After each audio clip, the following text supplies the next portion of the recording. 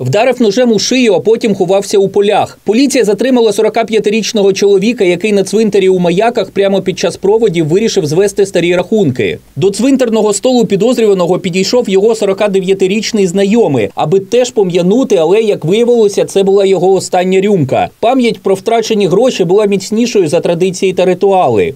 Те деньги, которые я собирал с женой на стройку, он выдурил и потратил, дабы покрыть свои долги. В то время, когда он подошел, э, я встал из-за стола.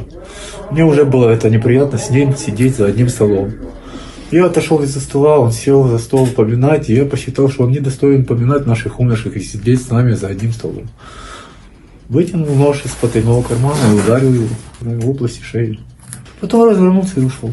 Негайна госпіталізація не врятувала опонента. Поранення виявилося смертельним. Самого ж підозрюваного розшукували декілька днів у сусідніх селах, лісосмугах, катакомбах, а знайшли у полях біля села Августівка. Зараз з фігурантом проводяться невідкладні слідчі дії.